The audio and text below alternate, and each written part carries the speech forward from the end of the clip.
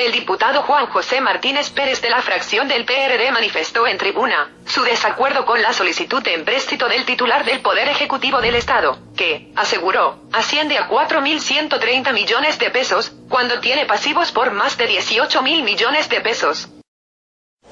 Diputado Mateo, nos está hablando usted de que se tiene valor crediticio en el Estado. Ni siquiera usted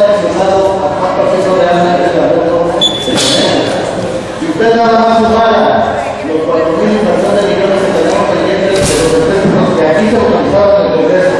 y sumamos los 4.130 millones que se van a autorizar ahorita, vamos a 60 millones. Pero acuérdense que tenemos millones de pendientes y los pasivos que aparecen en los informes empresariales de más de 100 mil millones de pesos, usted lo suma, no estamos hablando únicamente de una cosa de 100 mil millones de pesos.